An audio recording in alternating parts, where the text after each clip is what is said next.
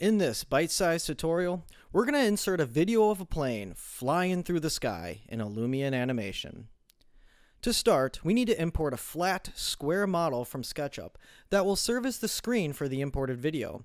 Position the screen over the building, and go into movie mode to view its placement. The next step is to change the screen's material. Use the standard material and click on Choose Color Map to add the MP4 file from your desktop. Increase the size of the video with the scale slider, and modify some of the other sliders until you get a nice look. One trick is that we use the emissive slider to make that blue sky just a little bluer.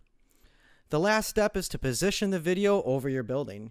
You may have to move the video around until you get a look you want, but after you've found a suitable position, test it out in movie mode. If the video looks just how you want it, hit that green render button, and you've just included MP4 videos in your Lumion animation.